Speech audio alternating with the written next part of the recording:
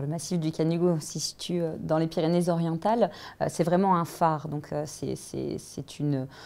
montagne qui appelle en fait, et qui, euh, effectivement, du point de vue local, comme du point de vue du marché de proximité, euh, est un point d'attractivité. Donc, ça a toujours été, en fait, euh, voilà, un objectif en soi, le pic.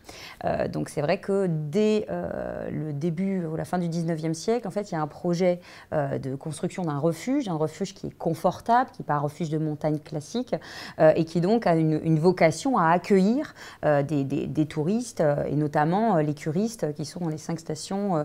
thermales qui peuvent les Pyrénées-Orientales. Donc dès euh, cette ce début du XXe siècle, on a la première voiture en 1903 qui arrive au refuge des Cortales qui est à 2150 mètres. Donc il y a une expérimentation, une volonté d'un tourisme motorisé pour une accessibilité et gommer en fait ces 2000 mètres de dénivelé qu'il faut pour aboutir euh, au, refuge et après au pic. Euh, bah, l'idée c'était voilà, de dès qu'on pouvait d'y aller dans n'importe quelle condition, euh, physique aussi. Et voilà, on a vu monter des gens en tongs hein, quand même, donc c'était pas, pas anecdotique. Hein. donc c'était vraiment la la, montagne un peu pour les nuls, euh, avec toutes les conséquences qu'on peut, y voir. Euh, et cette gestion de flux, bah, ça s'est posé euh, effectivement, puisqu'on avait des, des, voitures qui allaient sur, enfin, devant le, refuge. Donc la première, la première étape a été de reculer l'accessibilité à 500 mètres,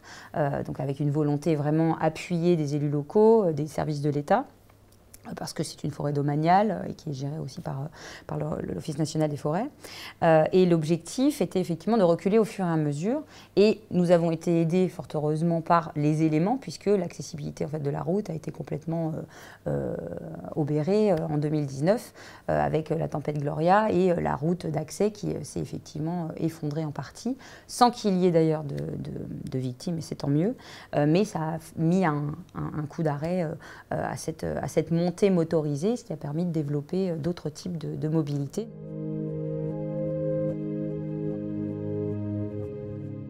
Bah, on, a, par exemple euh, dans notre gouvernance euh, locale mis en place différentes échelles de discussion avec des tours de table diverses, notamment le comité de destination qui est une instance informelle qui incarne le partenariat mis en place avec les communautés de communes, les offices de tourisme, le département, l'ADT euh,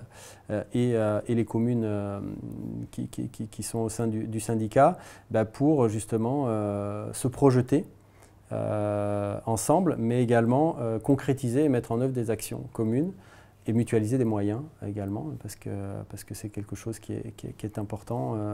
c'est un premier niveau, premier exemple. Un deuxième exemple est le, la, la, la déclinaison d'un projet global de territoire à l'échelle de plusieurs dizaines de communes à des échelons locaux et notamment la mise en place d'une instance de gouvernance euh, de discussion locale qui est le comité de secteur. Donc euh, notre territoire a été décomposé en, dix comités de secteur et ces comités de secteur, c'est des mini-parlements locaux qui permettent de réunir toutes les parties prenantes,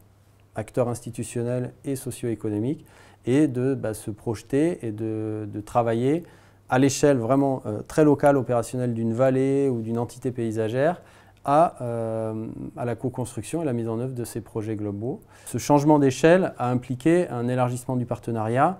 et, la, constante dans, tout ça, que ce soit à la fois sur la gestion des flux sur la partie sommitale et à la fois sur euh, l'émergence, la co-construction de la destination, c'est qu'il ben, n'y a pas un acteur qui est en capacité de faire seul.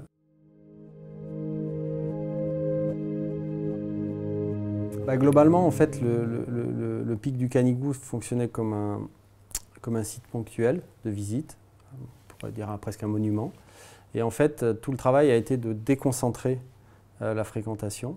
pour euh, essayer de mieux la répartir et la diffuser sur le territoire, en travaillant sur euh, les points d'intérêt et sur les, éléments qui constituent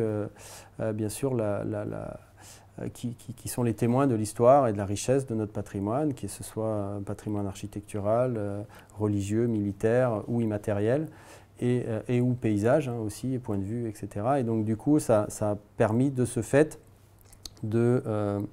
d'aborder les choses de manière beaucoup moins concentrée et de manière beaucoup plus globale, où, pour ainsi dire, la, la découverte démarre ou est susceptible de démarrer et l'expérience Canigou est susceptible d'être ressentie ou vécue d'où qu'on se trouve.